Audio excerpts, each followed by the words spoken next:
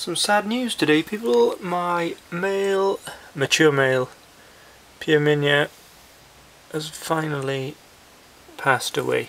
I on, look at mackerel. He's been, let me think, it was the 28th of the 8th, 2010 when he matured, so he's a good two, two and a half years old now. And um, yeah, just found him this morning. Just death kill. So, uh, I'll just go. Well, here he is. Bless him. As you can see, his uh, abdomen, as you can see from there, it's just completely just caved in. Completely compacted.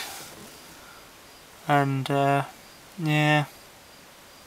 Good innings though. Two and a half years after maturing, it's, uh, that's pretty good going. I paid him a good few times as well.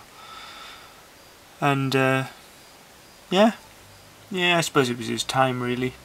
It's just the way it goes, I guess. But uh, yes, so what I'm going to do now is probably clean out this tank, give it a good bleaching. Actually, not bleaching, but you know what I mean.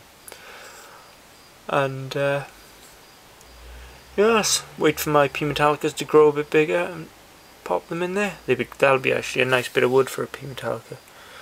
But, um, yes. Oh well, I'll make more videos soon, people. Just been a bit busy at the minute. And, um, yeah. Okay, thanks, bye.